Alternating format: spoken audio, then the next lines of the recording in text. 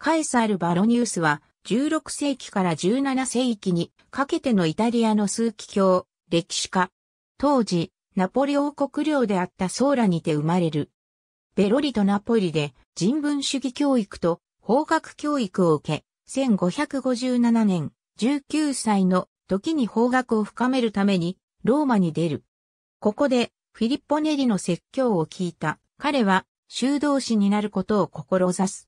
ネリも彼に修道士になることを勧め、1558年彼はバロニウスに集会にて、教会史について講話をするように命じたのである。1561年、バロニウスは法学博士号を取得すると、直ちにネリの創設したオラトリオ会に正式に加入し、1564年には司祭に除せられた。バロニウスが教会史を講話するようになった翌年の1559年、マティアス・フラキウスによるマクデブルクの書世記教会史第一巻が刊行された。エウセビオス以来久しく行われてこなかった使徒時代から今日に至るまでの教会史作成の試みがプロテスタントによって開始されたことにカトリック側は大きな衝撃を受けた。バロニウスは数奇教アントニオ・カラッファよりカトリックの立場に基づく教会史の執筆を要請された。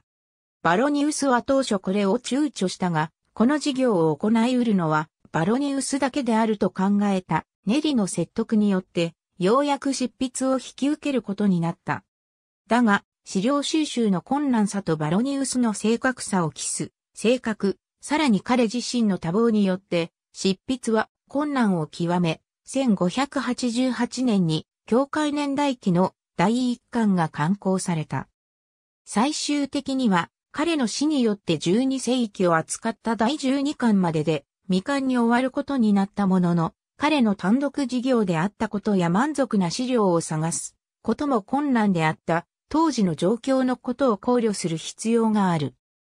1593年、高齢のネリの後を受けて、オラトリオ会総長に就任したバロニウスは1596年に数奇教に選ばれ、翌年にはバチカン図書館の総責任者を兼ねる数奇教司書に任ぜられた。そして1605年のクレメンス8世の死去に伴うコンクラーベでは有力候補とされ、一時は次期ローマ教皇選出に必要な票数を集めた。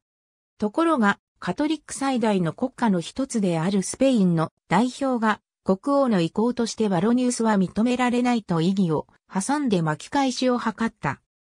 それは、教会年代記など彼の著作がフランス寄りとみなされていたこと、同11巻において、シチリア王国がウルバノス2世より与えられた特権に関する文書を偽文書と判断したことことが、スペインの不信を買っていたことによるもので、同国ではバロニウスの著書を禁書扱いにするほどであった。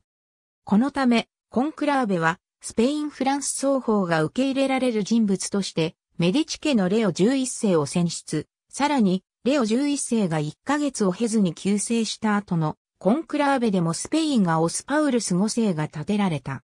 これに対してバロニウスは、問題の記述は、バチカン図書館などの所蔵資料に依拠した純然たる、学問的関心のための行動であるとして、政治的意図を否定したが、それ以上の意義を唱えることはせず、より一層の学級活動に専念させることになった。